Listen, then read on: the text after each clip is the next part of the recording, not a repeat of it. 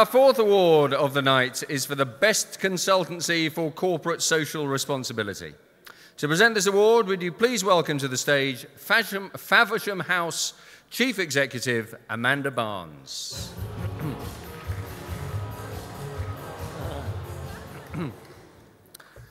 the shortlisted consultants are Atkins, Bureau Veritas Consulting, Environ UK, Enviros Consulting, ERM, RPS Group. This is like a pantomime. Um, and WSP.